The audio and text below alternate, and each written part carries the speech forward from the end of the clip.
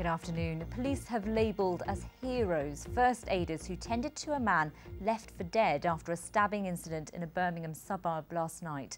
A 24 year old man is in a serious but stable condition in hospital with multiple stab wounds. James Boville reports.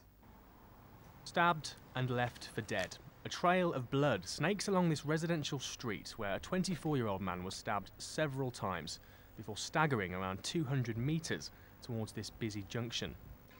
Residents described what they saw in the immediate aftermath. There was quite a few people around at the top of the street that had uh, started to crowd around, and then people started to come out of the houses to see what was going on.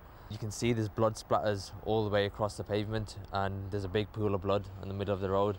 Um, so the chap's obviously lost a lot of blood. Just hope he's okay. There's a lot of police tape all over the place. There was a lot of police cars. Uh, so the access to the road was totally blocked. There was quite a bit of blood there as well. Uh, to the point where my youngest was like reluctant to even look at it. So, it, eh, although it is very alarming, I must say, yeah. Police say they're certain the man would have died without the heroic efforts of bystanders who helped stem the flow of blood from his multiple stab wounds. The 24 year old from Winson Green is in a serious but stable condition in hospital. Detectives are examining CCTV they believe could have filmed the attack and are appealing for witnesses to the stabbing at 9.15 last night, particularly those who cared for the man but left before speaking to officers.